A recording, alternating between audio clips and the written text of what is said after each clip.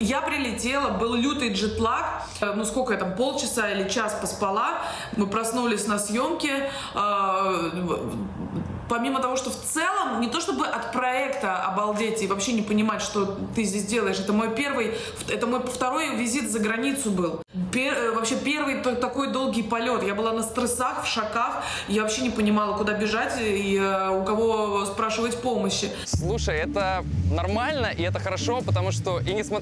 Давайте еще раз. Антоха, живи. Ты как бы вроде посмотрел программы, что-то как-то понимаешь, что нужно делать, но в процессе вообще ничего не понимаешь. Это был лютый стресс, все орали, и через крики ты вообще не понимаешь, что делать. Но нельзя ничего сказать, потому что сейчас вдруг уволят в эту первую секунду, отправят домой, обратно лететь 15 часов. Нет, нет, нет, лучше, мы лучше как бы все вытерпим, э, стерпим унижение.